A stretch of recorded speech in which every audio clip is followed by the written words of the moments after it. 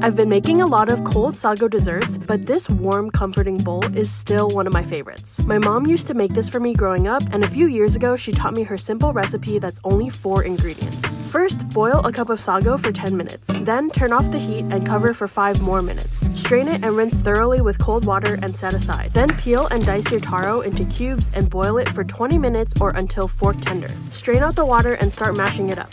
I like to keep it a little chunky so there's extra texture from the taro chunks. Add 1 can of coconut milk, ube extract which is optional for color, cooked sago, and rock sugar to taste. If you don't have rock sugar, no worries, you can use whatever sugar you have. Stir on medium-low heat to dissolve the sugar and then it's ready to serve.